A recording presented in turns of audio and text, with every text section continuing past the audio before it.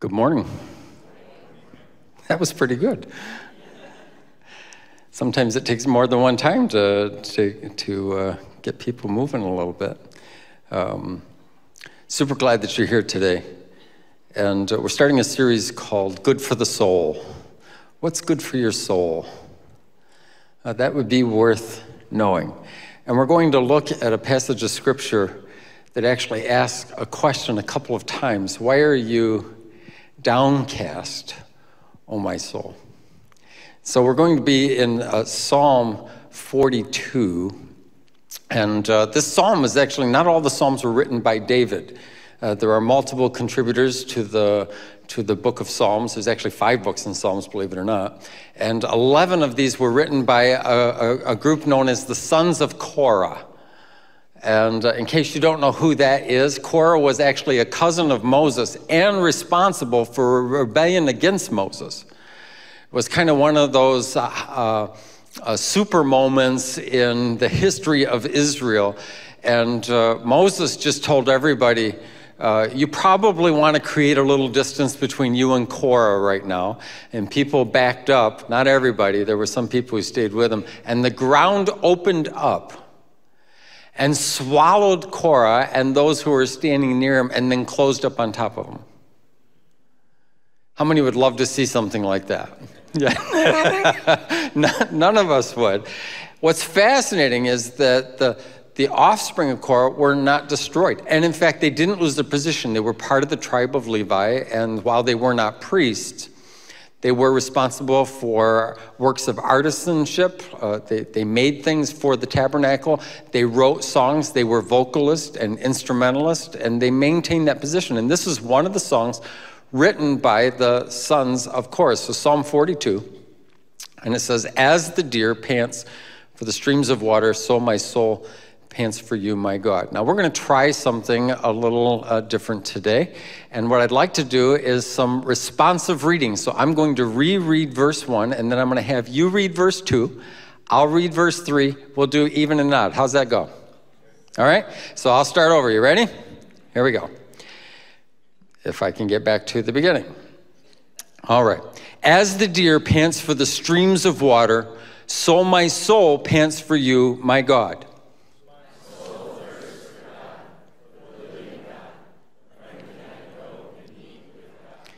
My tears have been my food day and night, while people say to me all day long, Where is your God?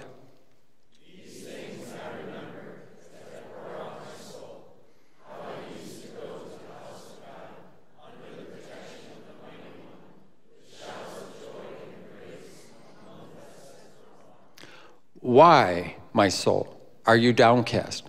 Why so disturbed within me? Put your hope in God, for I will yet praise him, my Savior and my God.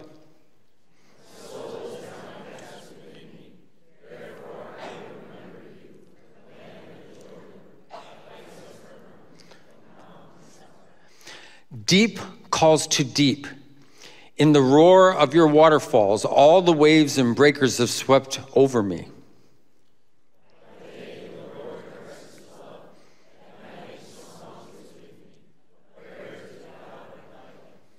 I say to my rock, Why have you forgotten me? Why must I go about mourning, oppressed by the enemy?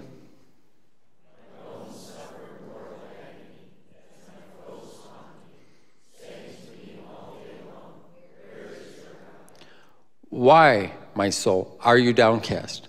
Why so disturbed within me? Put your hope in God, for yet will I praise him, my Savior and my God. As it turns out, the condition of our soul is not directly connected to the conditions of our circumstances. There's a passage written by the Apostle John. It's his third epistle, so it's third John. And in the second verse of that, he says, Dear friend, I pray that you may enjoy good health and prosper as your soul prospers. In other words, things aren't going so well for you financially and physically right now, but your soul is really good. So our circumstances don't determine the health and the well being of our soul. It's possible for things to be going really well in our life and our soul to be unsettled and drained and lack resilience. It's also possible for things to be very difficult in life and for us to have a sense of peace and confidence. And, and so the condition of our soul is not impacted by our circumstances. Something else determines that. So, the question I would have for you this morning how is your soul? How is your soul? Does it feel flexible, peaceful, hopeful, assured? Or does it feel rigid, unsettled, fearful, and apprehensive? A lot of times we focus our time and energy and resources in trying to change our circumstances, to improve them, to make them better. And that's worthwhile. Like that's part of the responsibilities of life. But I wonder if we know what it takes to improve our soul, to strengthen our soul. How much time do you think you spend on soul care and soul feeding? So, certain things can happen to our soul. Uh, this particular psalm provides some language for us to understand some of the things that are happening beneath the surface on the internal part of our being. And it tells us that our soul can become downcast. And the psalmist actually gives us some examples of what this is like. He, he describes his emotions as being elevated and a little bit out of control. He describes his tears just streaming constantly, and, and he says, That's become my food. He also describes a loss of appetite. He says, Really, the only thing I'm eating or drinking these days is, is my own tears. He cannot look up, he cannot get up. And lots of people who pursue spiritual truth often consider this kind of experience to be abnormal. But you have to know that our world is not kind to the human soul, and our souls experience this kind of thing with a greater regularity than we would hope for. Even when our needs are met, our soul can feel brittle and fragile and parched. Our soul can become hard.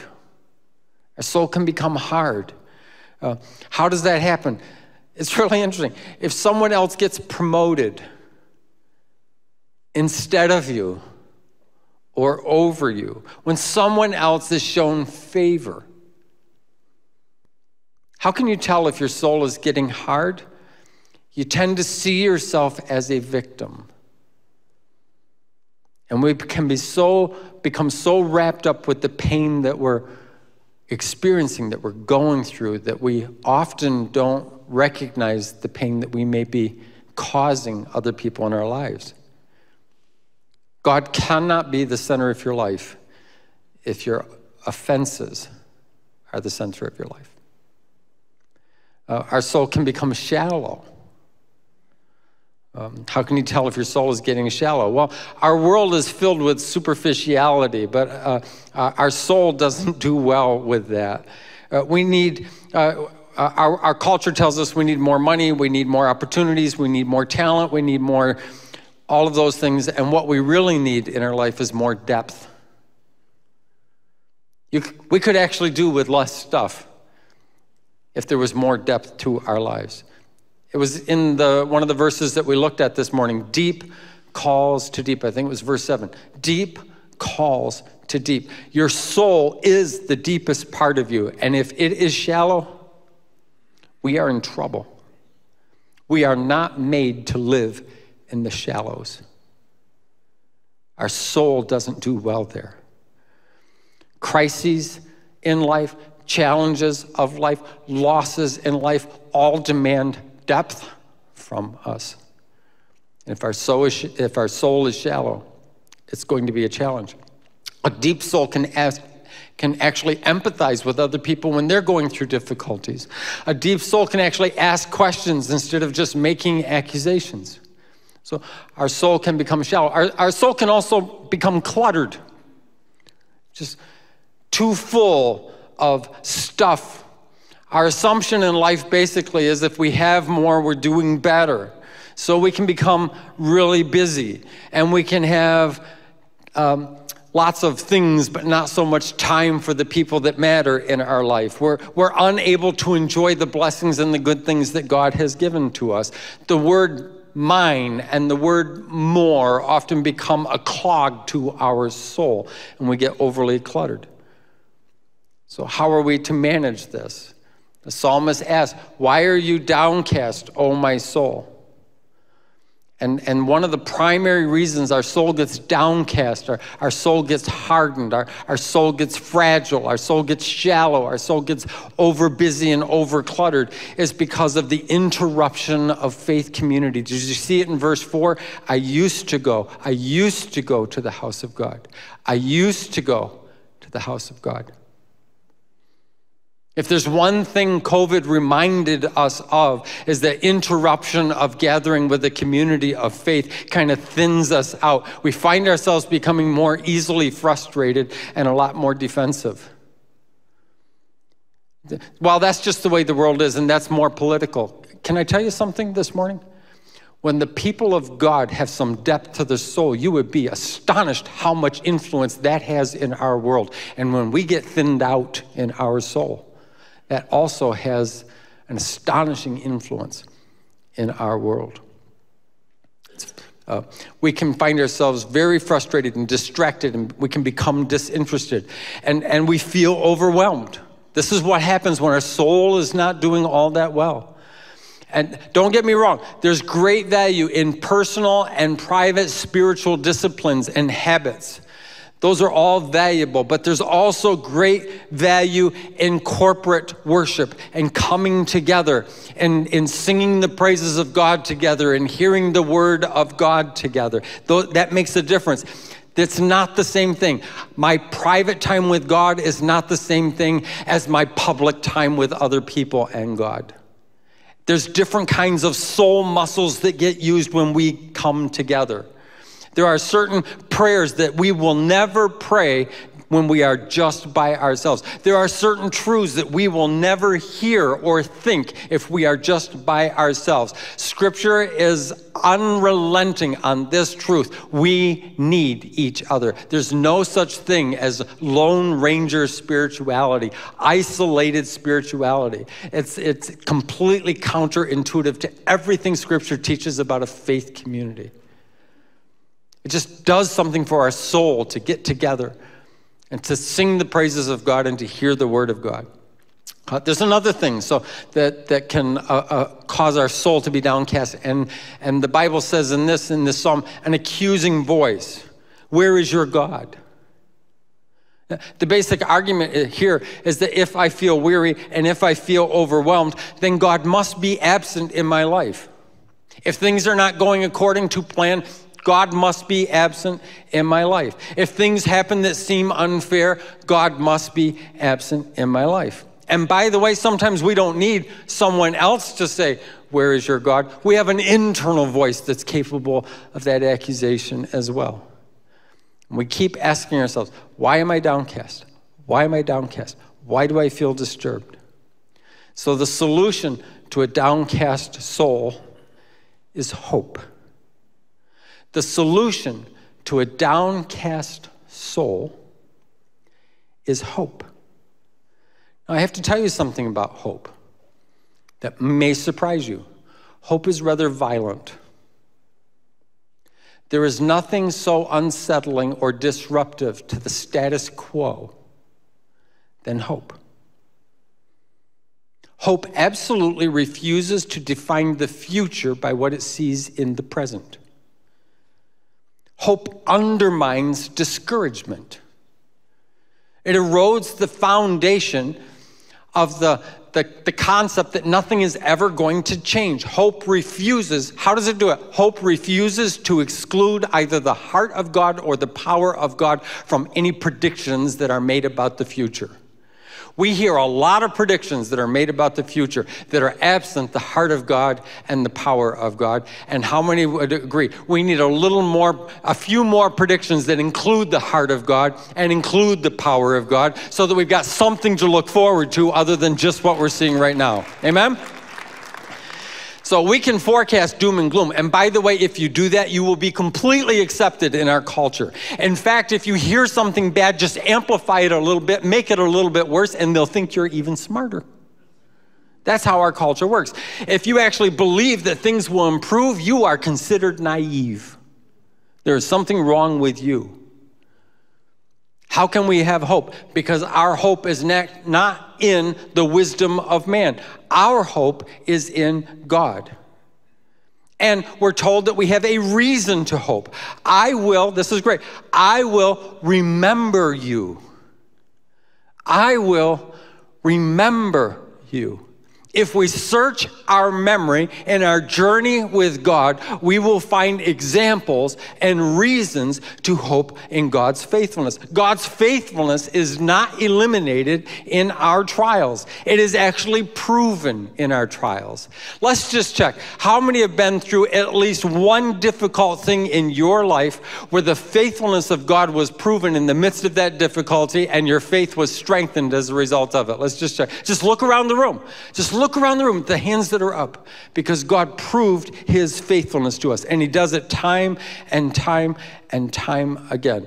I will hope because in the midst of the trial, that's where God proves his faithfulness. He sent the right people at the right time to encourage us. He opened doors we didn't even know existed. He increased our faith. He strengthened our character. He generously shared his wisdom with us, and he consistently provided for our needs. How many are grateful for the faithfulness of God in your life? Remember those things.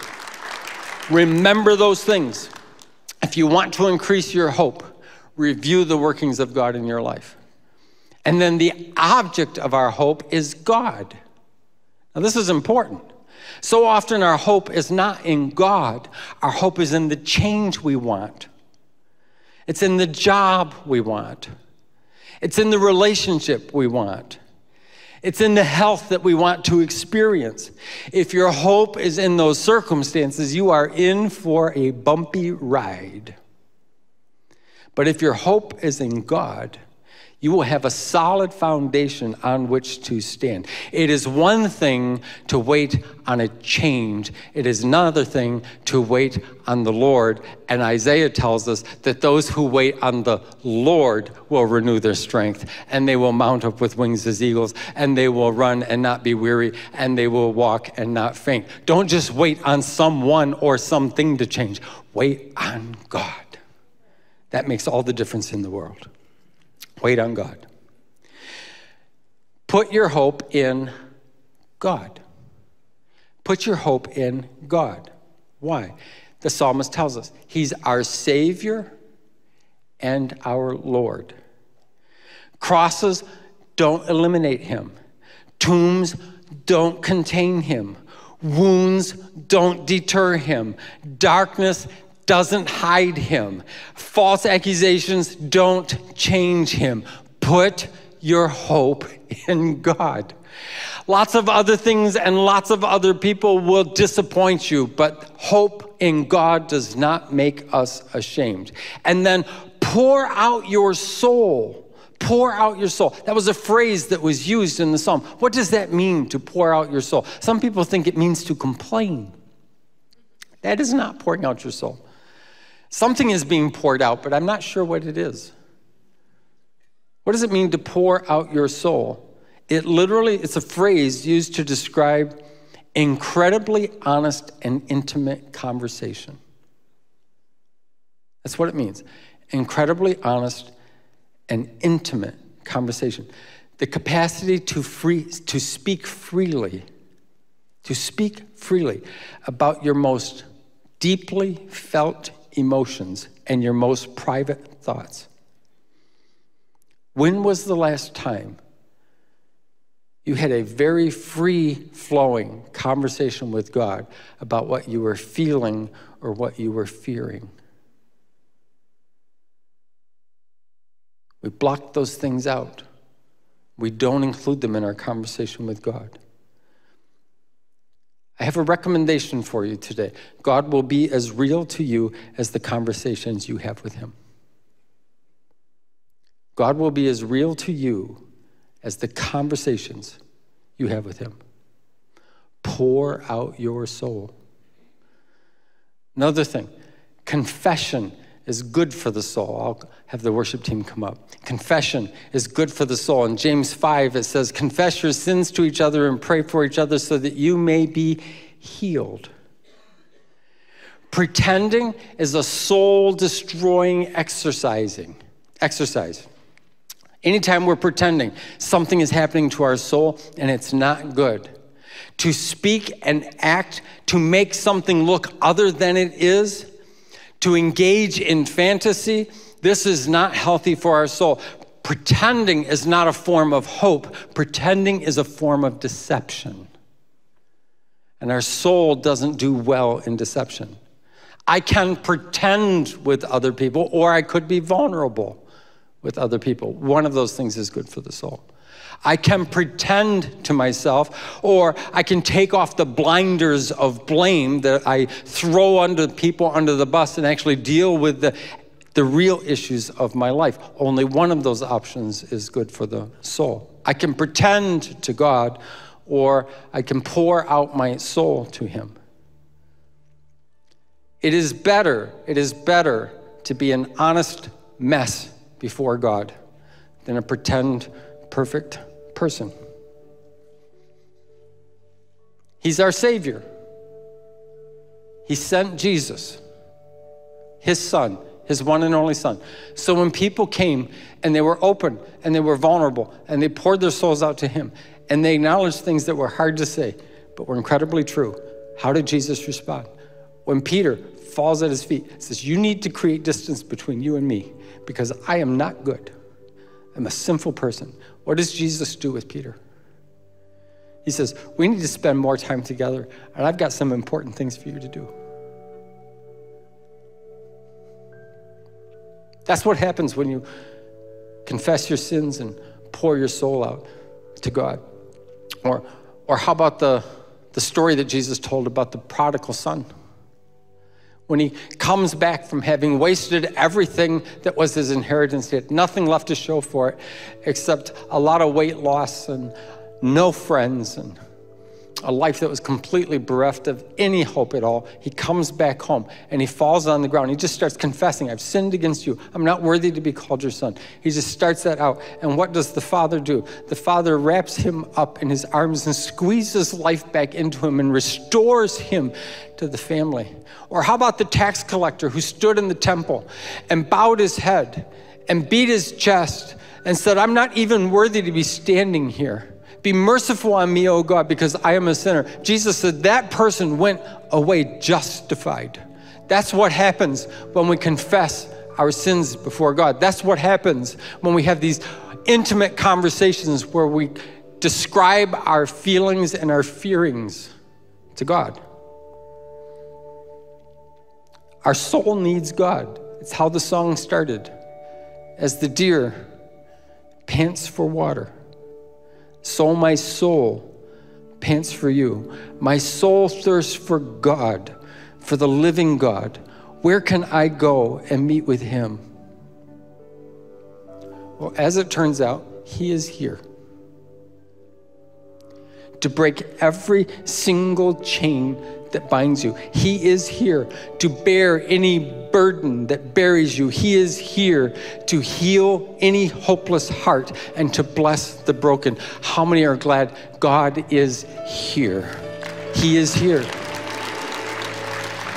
So let's bow our heads this morning. Father, in this world, our souls get thin and shallow and fragile and drained and dry. Our world is not an optimal environment for our soul, but you have provided resources for us to be able to strengthen the health and, the, and the prosperity of our soul. Would you help us access those today? By your grace and in your name. In Jesus' name, amen. Let's all stand together this morning.